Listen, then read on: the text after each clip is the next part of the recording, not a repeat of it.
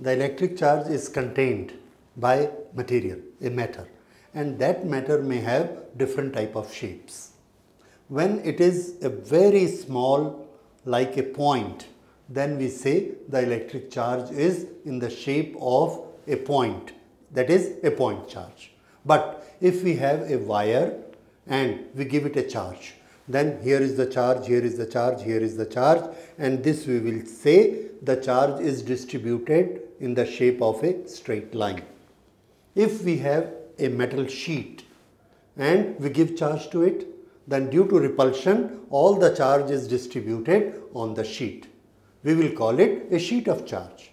Now each of it whether it is a point shape, whether it is a line shape, whether it is a sheet shape each is having same quantity that is Q of electric charge. But at a certain distance, will they make same electric field or different electric field? This we are going to study today. So, we will take one shape and what is the electric field calculation for that and what is the shape of that electric field that we are going to do today. So, that we will call distribution of charge. So we will have different distributions of charge. The first distribution we will take as point charge.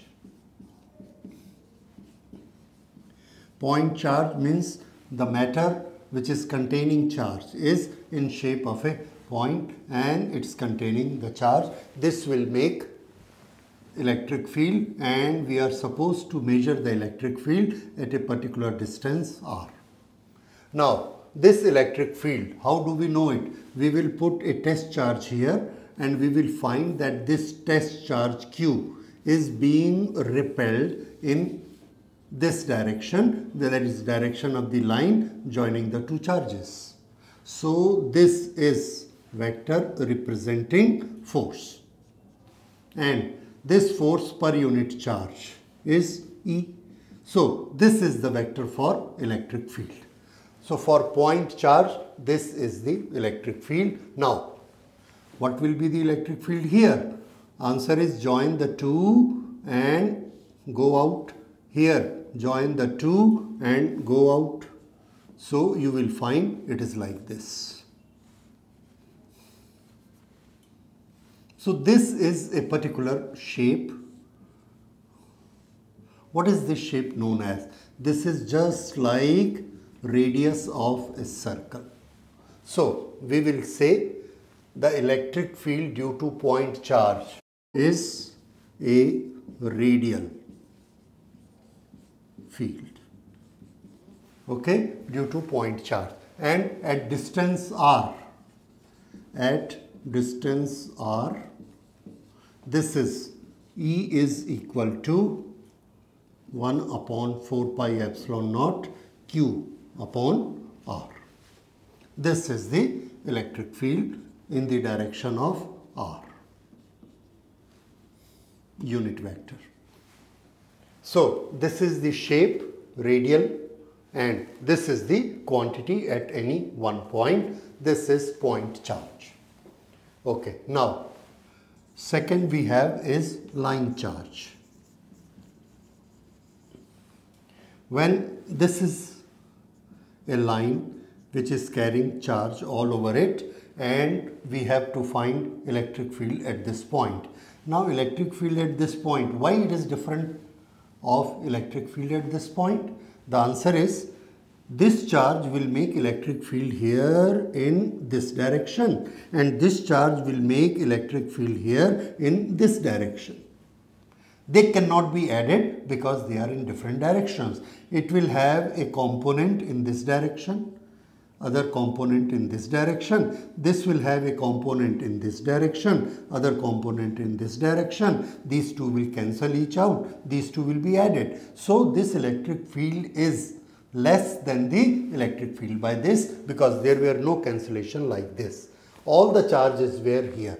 If there were 100 charges, all 100 were here. Here, all 100 are not here, 10 here, 10 here, 10 here, 10, 10, 10 and some component of electric field is cancelled here.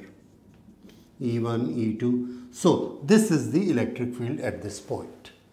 Now, because of this, we get this resultant here and similarly we get resultant at uh, different points. This electric field will be less. The shape of this electric field, how do we get the shape? This is the resultant shape. These are cancelled. At this point, this is the resultant shape. At this point, this is the resultant shape. At this point, this is the resultant shape. Here in this direction, here in that direction, but this and this we will not find here. All these are parallel to each other here like bristles, like a brush for the bottle. You have seen a brush for the bottle. Here are the uh, strings this way, this way, this way, this way, this way. That is the shape of electric field in all these directions. So that is electric field due to line charge. And now at any particular distance, at any particular distance, how can we find out the electric field, quantity, calculation, measurement of electric field? How do we do? For that, we take a very small length here, dl, and in this dl, how much charge is there, we calculate. And now here something comes new for you. Whenever we have charge distributed in a line, we will not take the full charge at a point. We have the formula only for point charge. What is the formula? E is equal to 1 upon 4 pi epsilon naught Q upon R. This is the charge but this formula is only for the point charge and here we have many points from different directions. So we cannot use this formula for this complete charge but we have a way out. What is that way out? For any length distribution we discover one quantity and that is uh, charge per unit length. We will call it lambda.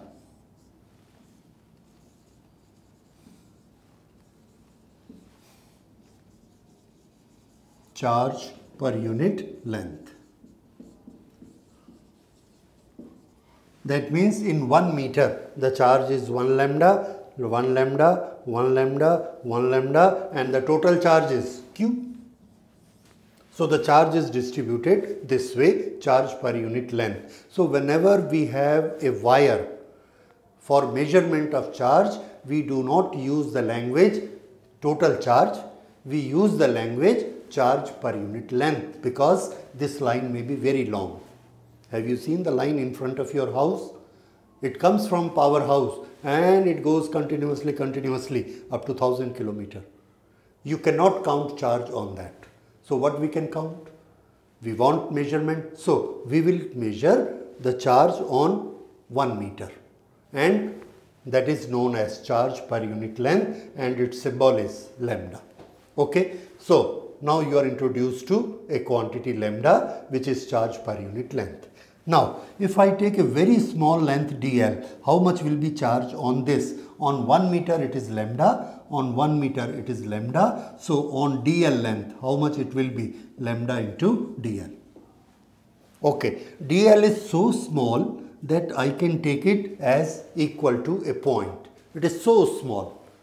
That is infinitely small approaching 0 dl is so small. So it is like a point. If it is like a point, then I have a liberty to use the formula for point charge. Otherwise, I don't have a formula for the length, but I have a formula for point charge. I want to use that. So I, can, I take only this very small part, which is infinitely small, and this is dl. So the charge on dl, which shape it has? It has point shape. How much is that? Lambda into dl. So, I have a permission now to use electric field formula for lambda dl because it is a point charge. In that case, how much will be E? The answer is E is equal to same formula. But this electric field is not for these all charges. It is only for a very small length dl so I will write it very small part of electric field dE. So D is what a very small part of electric field which is due to dl. How I write it? 1 upon 4 pi epsilon naught in place of charge I will place lambda dl and this distance is r. So this is r e sorry I forgot to write here r square. So this is r square. This is electric field at this point because of this dl. But we want electric field due to full length. For full length, we know calculus and integrate both sides. When we integrate both sides, then this become E and this is integration of this full quantity 1 upon 4 pi epsilon naught lambda dl upon r square. I will write it uh, uh, very clearly here that electric field due to line charge is equal to 1 upon 4 pi epsilon naught and integration of lambda dl upon r square. This. So this is expression for electric field due to line. What is the shape? This brush. Here the bristles which are coming out this way. So that is the shape and this is the quantity. In this case what is the shape? A sphere. Take a point, take the bristles all the sides. That is direction of electric field in all and this is the quantity full and this is given by integration and this integration dl this will change from 0 to L has the two limits. For the complete length this is electric field due to a line charge. And now in the next topic we will see electric field due to full sheet.